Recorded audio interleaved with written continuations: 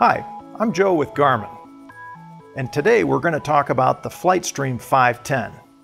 The 510 is a patented Wi-Fi and Bluetooth enabled multimedia card that establishes an information bridge between GTN touchscreen navigators and iPhones, iPads, or Android devices running Garmin Pilot.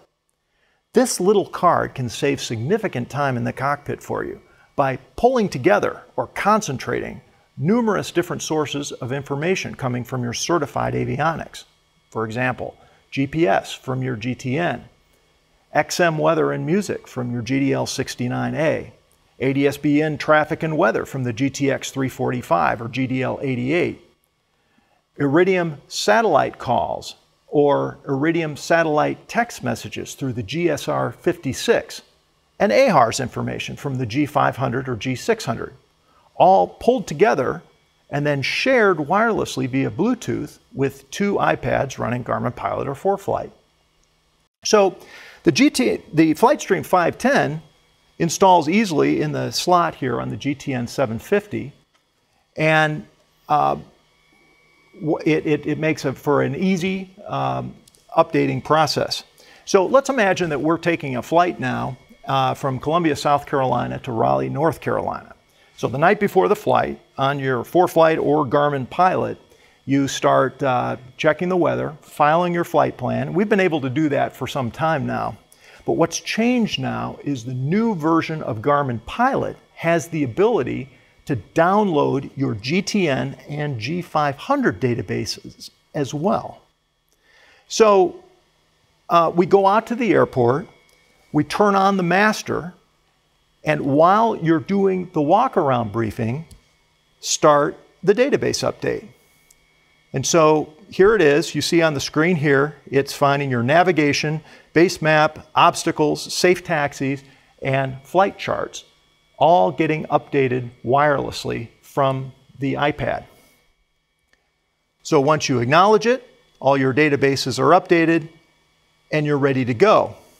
Now, it does more than that though it not only updates this single GTN, it pushes that database update to the second GTN in the cockpit, and then through a process called database synchronization, here, pushes that database update to the G500, to one or two 500s in the cockpit as well. Okay, we have uh, updated our databases on the GTN 750, 650, and G500, and now we want to Bluetooth transfer that flight plan we created last night from the iPad up to the GTN.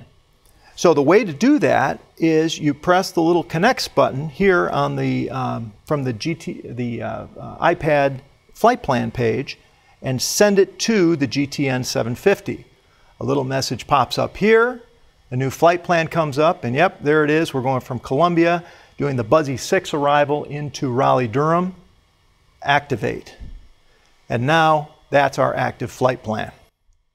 So once we're in the air, the Flight FlightStream 510 can help you with pulling together numerous sources of useful information for the pilot, including keeping all your screens GPS coordinated. So all the screens are showing uh, a similar GPS position all screens showing synchronized ADS-B in traffic from your GTX 345, for example.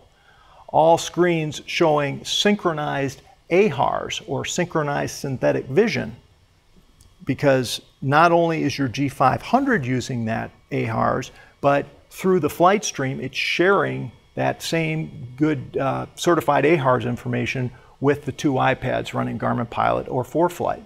So a synchronized cockpit means that it's less pilot workload on every flight that you take. Thank you for your time today. Please contact a Garmin dealer or go to garmin.com for more information on the FlightStream 510. Thanks for watching.